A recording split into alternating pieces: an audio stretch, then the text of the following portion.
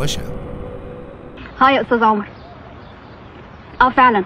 أنا طلبتك امبارح. أنا ريهام. اللي انقذتها من الحرامية.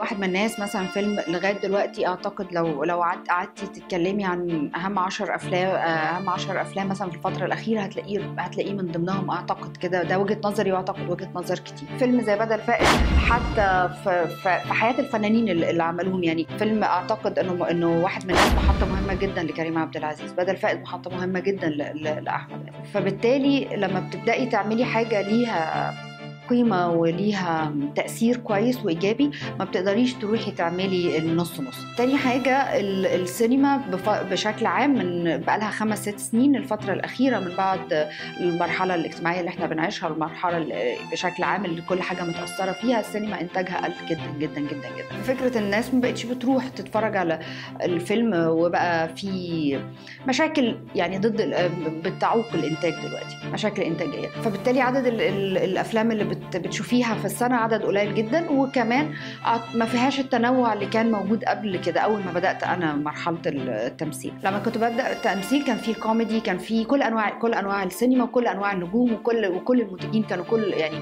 كان في منافسة قوية جدا في السينما. انت دلوقتي ما عندكيش تقريبا غير شخص أو اتنين اللي بينتجوا أفلام. فيهم أفلام حلوة طبعا وفيهم حاجات آه، يعني عادية.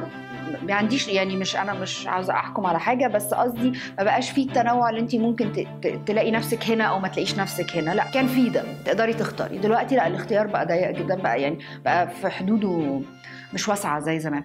وشوشة الموقع الفني الأول في مصر رئيس مجلس الإدارة محمود إسماعيل الإشراف العام أحمد الهوادي www.وشوشة.org